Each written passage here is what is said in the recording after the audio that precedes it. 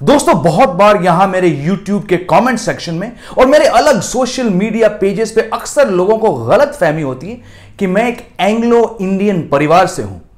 Twitter पे कई दफ़ा मुझे लोगों ने टैग किया कि क्यों आपके पिता टॉम ऑल्टर कभी एंग्लो इंडियन कम्युनिटी की तरफ़ से पॉलिटिक्स में नहीं आए? आपकी कम्युनिटी को रिप्रेजेंटेशन मिलनी चाहिए राज्यसभा में? या कभी, जिमी भाई, आप एंग्लो इंडियन कम्युनिटी की मिसाल हो? और दोस्तों, मेरा हर बार यही जवाब होता है कि नहीं, मैं एंग्लो इंडियन कम्युनिटी से नहीं हूँ। क्योंकि एंग्लो इंडियन का मतलब है एक इंसान जो आधा इंडियन और आधा ब्रिटिश या यूरोपियन हो, यानी कि इंग्लैंड से। मतलब मिक्स्ड ब्रिटिश और इंडियन खून का। और मैं एक फोर्थ जनरेशन अमेरिकन हूँ, जो यहाँ हिंदुस्तान में पैदा हुआ। मेरे दादा, मेरे पिता, मैं और मेरे बेटा यहाँ इंडिया में पैदा हुए। मेरा पासपोर्ट इंडियन है, मेरा पिता का भी पासपोर्ट इंडियन था। हम हिंदुस्तानी हैं, लेकिन कहीं से एंग्लो इंडियन नहीं। और क्योंकि मुझे पता है कि बहुत लोग हैं हमारे देश में जिनको एंग्लो इंडियन शब्द का मतलब नहीं पता, और उसके आगे एंग्लो इंडियन कम्युनिटी के बारे में तो मैंने सोचा आज हम इस कम्युनिटी के बारे में थोड़ी बात करते हैं। दोस्तों, ये शब्द एंग्लो इंडियन डेवलप हुआ 18वीं और 20वीं शताब्दी के बीच उन ब्रिटिशर्स के लिए जो इंडिया में काम करते थे।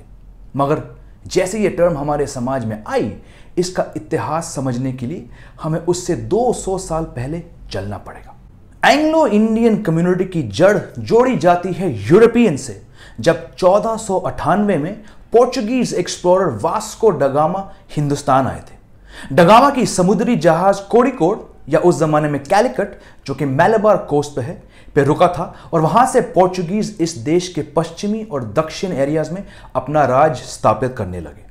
गोवा के Portuguese governor Alfonso de Albuquerque ने अपने लोगों से कहा कि वो हिंदुस्तानी औरतों से शादी करें ताकि उनकी संख्या और बढ़ सके और उनकी ताकत और भी मज़बूत हो जाए। जो लोग पोर्चुगीज इंडियन वंश के थे, उन्हें उस समय लूसो इंडियंस कहा जाता था।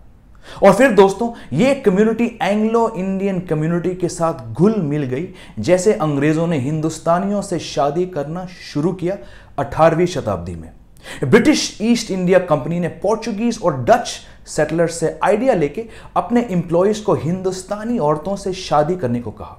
उन अंग्रेज़ सिपाही और सरकारी ऑफिशियल्स के जो बच्चे हुए हिंदुस्तानी औरतों से, उनको एंग्लो इंडियंस कहा गया और ईस्ट इंडिया कंपनी ने कई परिवारों को हर एंग्लो इंडियन बच्चे के लिए पैसे भी दिए। 18वीं शताब्दी तक ब्रिटिश सरकार ने भारत के ज़्यादा हिस्सों पर कब्जा कर लिया और 20वीं शताब्दी तक इनका राज चलता रहा। फिर 1911 में इंडियन सेंसस के ज़रिए से इस टर्म को एक कैटेगरी दी गई उन लोगों के लिए जो ब्रिटिश और इंडियन खून के थे या यूरोपियन और इंडियन खून के।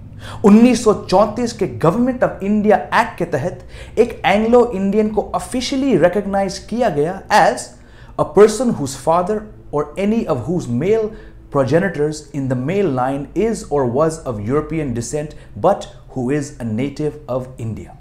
Historians का मानना है कि इससे कुछ कंफ्यूजन हुआ समाज में, क्योंकि इससे पहले यह टर्म उन अंग्रेज़ों के लिए था जो इंडिया में रहते थे, जैसे कि मैंने बताया फिर 1950 में भारत के संविधान में एंग्लो इंडियन कम्युनिटी को शामिल किया गया।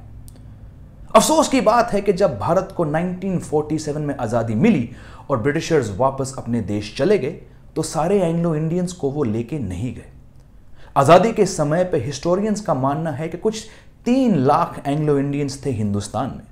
मगर अंग्रेज़ों के जाने के बाद उनकी सोशल स्टेटस गिरने लगी और उस कम्युनिटी के बहुत लोग माइग्रेट हुए दूसरे यूरोपियन देशों में 1950s और 1960s में Canada Australia New Zealand and of course England जो एंग्लो इंडियंस यहाँ इंडिया में रह गए, वो ज़्यादातर एंग्लो ज़्यादा और इंडियन कम थे। उनका रंग भले ही सफ़ेद नहीं था, लेकिन उनकी अंग्रेज़ी ज़ुबान और वेस्टर्न कपड़े पहनने का ढंग था।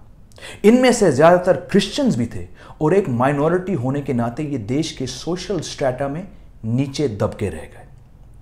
आज़ादी के बाद बहुत एंग्लो इंडियंस को नौकरियाँ नहीं मिली क्योंकि कुछ लोकल लैंग्वेजेस नहीं बोल सकते थे। और कईयों को कभी मजदूरी से लेकर सरकारी दफ्तर के काम इससे पहले ना करने के कारण मुश्किल हुआ अचानक ऐसी स्थिति में पड़ने से। बहुत एंग्लो इंडियंस को लगा कि हम आधे ब्रिटिश हैं तो हमें अंग्रेज़ अपने साथ लेके जाएँगे, या फिर यहाँ हिंदुस्तान में हमें ज़्यादा इज़्ज़त मिलेगी। शायद एक आइडेंटिटी क्राइसिस के कारण कुछ एंग्लो इंडियंस कंफ्यूज हो गए आज़ादी के बाद। और कहीं ना कहीं इनका मार्जिनलाइजेशन का एक कारण यह भी है कि बहुत एंग्लो इंडियंस को वेस्टर्न लाइफस्टाइल जीने की चाह थी, पर उनकी कमाई इतनी नहीं थी कि ये सस्टेन कर सके। सेंट्रल और स्टेट लेवल के सरकार से सपोर्ट ना मिलने के कारण इस माइनॉरिटी कम्युनिटी के कई लोगों ने फिर मुश्किल समय में हिंदुस्तानियों से शादी कर ली और बंगाली और तमिलियन जैसे कल्चर्स में घुल मिल गए। आज इनके सबसे बड़े कम्युनिटीज में से हैं वेस्ट बंगाल तमिलनाडु बिहार और केरला आज के दिन मुश्किल है यह कहना कि इंडिया में कितने एंग्लो इंडियंस रहते हैं। क्योंकि 1941 के सेंसस के बाद कोई ढंग की काउंटिंग नहीं हुई है। कुछ लोगों का मानना है कि इंडिया में एक लाख से लेकर डेढ़ लाख तक एंग्लो इंडियंस हैं। और कुछ कहते हैं कि तीस हज़ार से लेकर एक लाख पच्चीस हज़ार के बीच हैं।